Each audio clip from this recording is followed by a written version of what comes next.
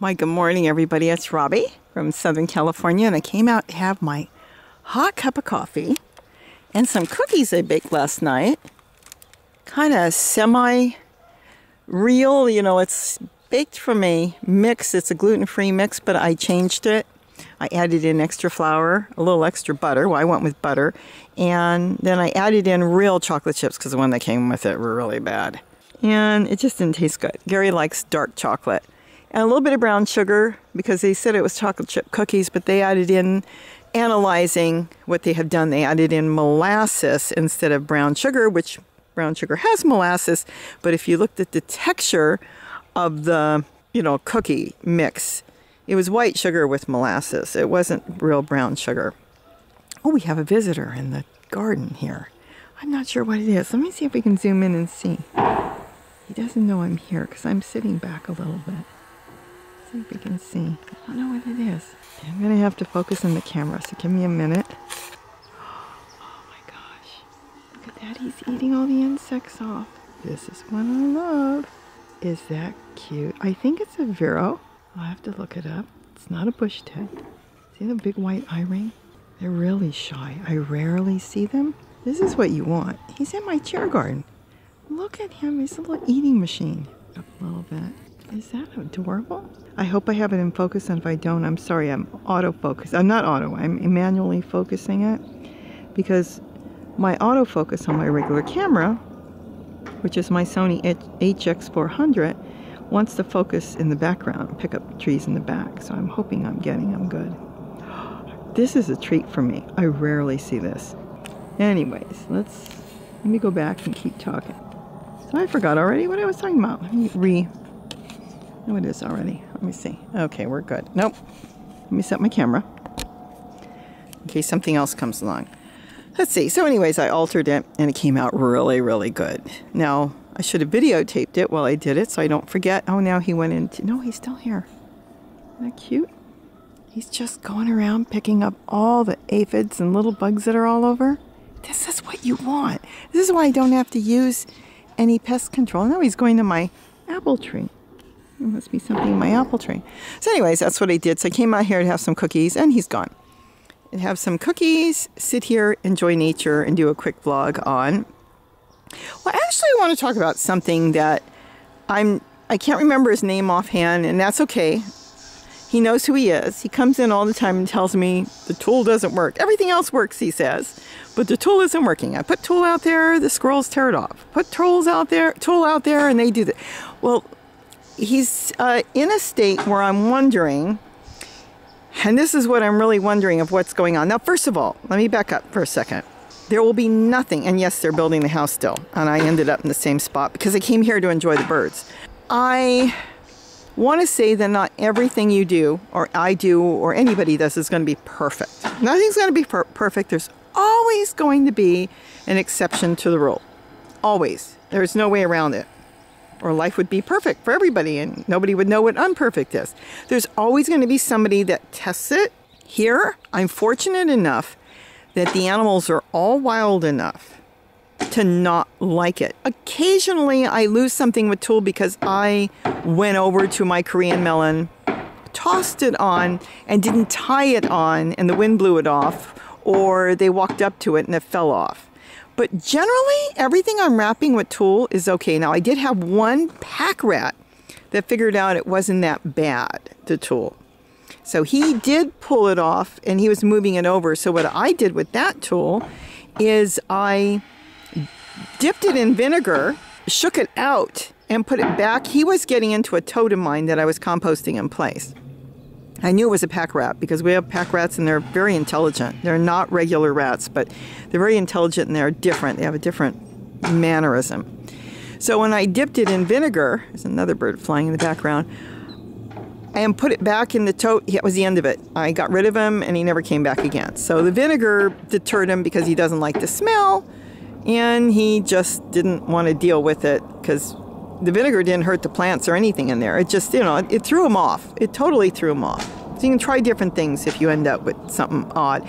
Put some vinegar in a spray bottle and saturate the tulle. Don't spray it on your plants, but just saturate the tulle and see how that works. I see a raven up there. Oh, and a big yellow plane. Look at that.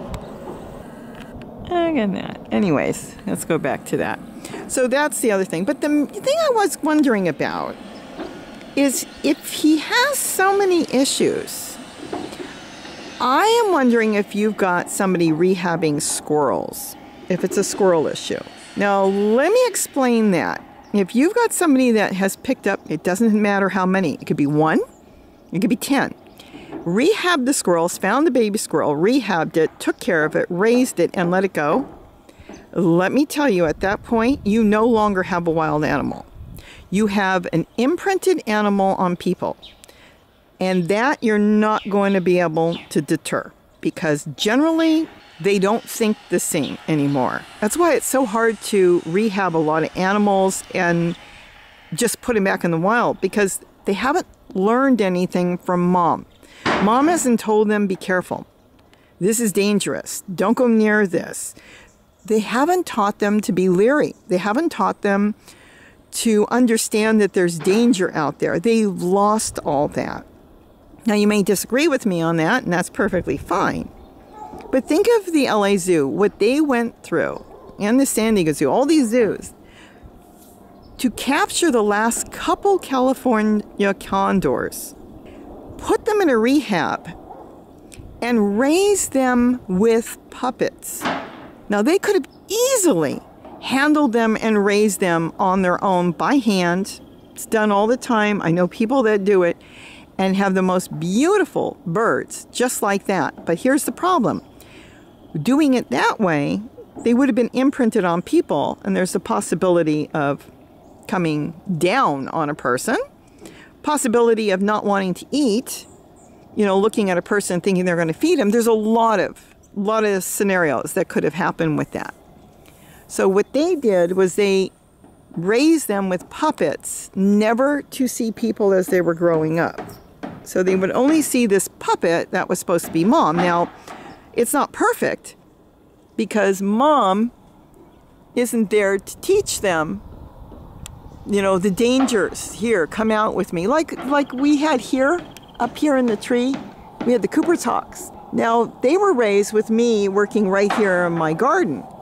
And they do come to visit and they know people and they're so tame with people. They go to my neighbor's house and they go into her swimming pool and they're so used to people because they saw me out in the chair garden every single day. The four of them hung out, hung out, and watched us in the garden. They scared me a few times because they would come down, two of them, and sit in the truck bed and watch me while I was working in the truck bed, literally feet from me. Or they would come over to the wall and sit on the edge of the wall. They didn't scare me that I was afraid of them, but what I was a little leery of is would they attempt to land on me accidentally? Because even the tamest of the, the bird of prey are never handled without gloves because of the talons. I mean, they'll go right through you if they tried to land on you, even a friendly bird. So, though they were raised in the wild by mom and dad right here in the tree, and they were raised there, and they knew danger. They knew, you know, mom and dad's not going down to visit these people. Mom and dad aren't doing anything. They knew enough, you know, by nature, you don't go near people. But when you're hand raising something, and people do, I see it all the time. They find the squirrel, something happened to mom, the babies crawl out, they're not weaned yet. They bring them in, they hand rear them, and then they let them go. Well, what are they going to do? They're now little people. Think of your dogs.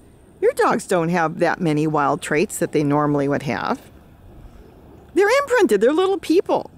Gosh, I can tell you, my dog that I lost quite a few years ago, she was amazing. It took me a year to get used to her. I'm going to say she was kind of a rescue because somebody had her and she got passed around. Nobody wanted her. My daughter ended up getting her for me, and I couldn't even figure her out. She was taken away by the original people at a matter of a couple weeks old and hand raised. I don't know why. It was something they thought was imprinting. But they took her away, they bottle fed her and raised her. And by the time she was five weeks old, to the people that raised her, she was a holy terror. So they gave her away to my daughter, and my daughter gave her to me. And I'm trying to figure this dog out. I mean, as she was getting older, she was so demanding. she'd walk over to the refrigerator and I would open it up because I did spoil her. And if she if I didn't hand her out of the refrigerator what she wanted, she'd bite me in the ankle. If she wanted cheese and I gave her something else, a piece of chicken, she'd bite me in the ankle. I had to find what she wanted. She was the, the smartest dog I'd ever seen. I found that her mother was like that too. Extremely intelligent. She was when I lost her when she was older, I was really hard because she was a little person. But I'll tell you, for the first year, I couldn't get used to this dog because she was so demanding. She'd growl for stuff and lead you to places she wanted, and it was just a very unusual dog. But soon I realized exactly what was going on, and she became the best dog I've ever, ever known. Well, if you got squirrels that are being rehabbed and then let go, they have no fear of anything. They will go into your garden, is true. They will pull tulle off, they'll pull things down, and people are just part of their lives because, after all, it was a person that saved their life. And that's all they know. So they don't have any type of upbringing by their parents. And that's why that's so important. So you are you may be dealing with something completely out of the ordinary that they haven't learned anything from their parents. And so it only takes one, too. If somebody had rehabbed one and let it go after they were done, uh, you know, was eating on its own, it figured out it how it could find food. The people maybe left food out for it because they put it in their yard. And then, of course, as it gets older, it's going to venture out and get back into society with other squirrels, find a mate. But it's going to teach its mate what it knows, which is going to be different than what the mate knows. And then, of course, it will might teach its babies the same thing. So you end up having a little bit different community of squirrels out there.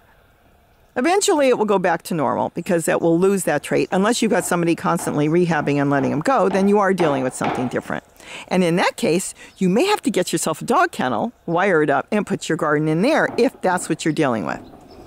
I am out on a hilltop. We have everything here coyotes, bobcats, we have mountain lion that goes through here. We have deer. We have pack rats. We have the regular rats. We have mice. We have uh, deer mice. We have everything. And as far as I know, nothing's been rehabbed here. And so I can work with nature because I understand what nature wants to stay away from, what it knows, and what it doesn't know. But if I had somebody coming that was catching rats, catching mice, catching squirrels, bottle feeding them, eye drop feeding them and letting them go, it would be a nightmare. No joke. It would be a total nightmare because it wouldn't be the same creature or mannerism that I would be used to, and I would then have to reanalyze what I'm dealing with. So I think you may be dealing with that, being that you seem to have so many issues. So you may have to just alter your gardening in your area. Uh, I don't know, you know, you haven't explained to me exactly how you're doing it, but off the ground, your ground squirrels don't like to go too far off the ground. And if they're not familiar with it, I have tons of ground squirrels here. They won't go on the chairs. That's not to say someday one, one might jump on there and teach everybody else, but right now they won't go on the chairs. So I don't have ground squirrels in the chairs. They will go into my containers. I see them. They'll find something, maybe a small squash, and pull it off or, or a tomato. I've seen them grab tomatoes. They'll grab a tomato and they'll take off with it. Ground squirrels are on the ground. Tree squirrels are in trees, but they come down from the trees. They really prefer trees. And they will look for food too. But they're not familiar with a lot of this stuff, so they don't bother with this, but they will go in the fruit trees and take nuts and fruits and stuff. And that's where the tulle works out perfect on my fig trees. I just have to cover what I want to save with tulle, T U L L E, it's a cheap fabric and that does the trick here. And I can cover individual fruits. I don't do the whole tree. There is bird netting, but I don't use bird netting. Bird netting is a whole different fabric. It's got wider holes. It's not tulle. Tulle is very fine. Tulle is what they make slips out of, wedding wedding veils, uh, you know, things like that. Tulle is very small, so birds can land on it and their toenails go into the holes, but it comes right out. Animals can grab it, literally not get hurt with it. If you had it loosely hung, they could grab the tulle or land on it and run off. And if you don't have it, you know, on there snug, you might find the tulle somewhere else because it got stuck on their nails and they're running from it. They're scared because it got stuck, but not stuck in any way where it's going to hurt it. Bird netting, on the other hand, has very big holes in it.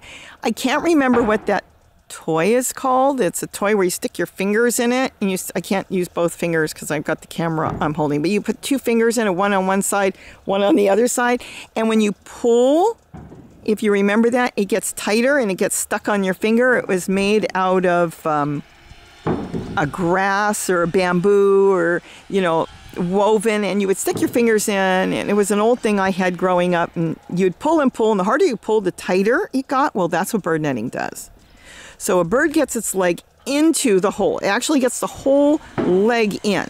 Once the leg is in, see my hand? Well, the netting is only as big as my wrist. So now they can't get their foot out. So the more they try, they wind it around and they end up getting caught in the whole thing. And literally, that's how they trap birds in South America and Africa and different places with a netting like that because they get caught in it, literally caught because they put their leg in there and then they try to pull it out this way and that way and that way and they end up getting their leg caught and they go back on these traps, which is a bird netting, and they gently pull them out and they sell them or do whatever they're going to do with them. Uh, some keep them for pets, and unfortunately, if they can't sell them, some eat them. The in the other countries, not here. Bird netting is completely different. Tulle, they can't get their leg in. They can only get their toenail, and then it gets right out. They just pull it right out. So that's why I really like tulle. Bird netting is just to me way too dangerous, way too dangerous because if you're not there to release them and you literally will have to gently grab them and probably have to cut them out with a tiny scissors. So I wouldn't suggest using bird netting for your squirrels if you're having a squirrel issue. At that point, depending on your yard, I don't know your setup at all. You may have to put something around the perimeter to keep them out. You may have to reanalyze how your garden is. Everybody's garden is completely different. Um, and the other thing is, if you really want a garden and you've got that many issues, you can get yourself a nice dog run, cheap. Go look for a used dog run and wire the outside with quarter inch wire or half inch wire. And that's the end of your squirrel problem. And you walk in there and leave the top open unless you've got tree squirrels trying to get in. And then make sure it's quarter uh, half inch so the bees can still get in there and pollinate or put things in there that don't need to be pollinated. Like most of your tomatoes are self-pollinating. Some of your some of your peppers are self-pollinating. You can grow other things in there. All your greens don't need to be pollinated. Strawberries uh, some now those really do need pollination usually. But think of like i meant to say radishes and carrots and things like that don't need to be pollinated you can hand pollinate squash in there but again you would be keeping out the birds and the squirrels. So you may end up with an insect problem, and that's what you have to look at. And if you have to at that point, I guess you got to get insect spray or powder or whatever, hopefully organic. So that's basically all I wanted to talk about today. Just talk about tulle. Um, it's worth a try. You can buy it on Amazon, you can buy it on eBay. I buy all mine on eBay. I was buying it from Joann's, which is a fabric store. Talked about that a lot you can easily go in there and buy what you want by the yard. Uh, what's a dollar, two dollars a yard, if that, and then try it and see if you like it. it comes in different, you know, stiffnesses and the different fabric type tulle, but you pick. It doesn't matter. It seems to me it doesn't matter if it's fine or coarse or whatever. Pick what you, what's going to work for you, and then try it that way. But I get it for ten dollars a bolt, and you can get it for nine dollars if you buy four. The bolt is forty yards by 54 inches, I believe it is 52, 54 inches, and it lasts me forever. I bought a ton of it. I like black, disappears in the garden. Green, the hunter green, disappears in the garden. It's really nice and dark green, but any color will work. It doesn't matter. Color doesn't mean anything. Gary likes red because he's wrapping fruit and he wants to be able to go back and spot the fruit right away, and so he uses red. So that's it. So again, Tulle is my favorite. It works. It's cheap. You can't beat it most people will buy one bolt for $10 and that will last them all garden season. And that's all I'm going to talk about today is critters and tulle and how tulle is safe for birds. I've never had a problem. That's again, there always could be an issue with something, something somewhere, you know, somebody may have an issue because nothing's perfect. But in all the time I've been using tulle all over the garden, all over places, I've never had a bird get stuck. So I guess that's it for today. I'm watching a flycatcher now on my truck bed and I just wanted to say hello and I'm going to go back and have a cookie that I made. I could have done it from scratch, but it was cheaper to actually do it this way and have my cup of coffee and sit out here and enjoy nature. So have a great day. And I'll put the link be- below so you can go look at it's an affiliated link and you can look at that and see. You don't have to buy it there. If you prefer Amazon, buy it wherever you want, but you can look at it and see exactly what I'm talking about. I'll put it down below under the video. So have a great day. Enjoy your day and don't forget to eat what you grow. Bye bye, everybody. You're late. I finished the four cookies. I thought you were going to come out here and you didn't come out, so I couldn't help myself. But you'll have to go in. You took cookies already, right? Yeah, I've taken cookies already. Good. I'm going to give some to Kitty. Okay, I'm going to start my day and listen to all the hammering and the banging. I saved you a little bit of cookie. Just a little bit. That's all you get. Okay? That's it.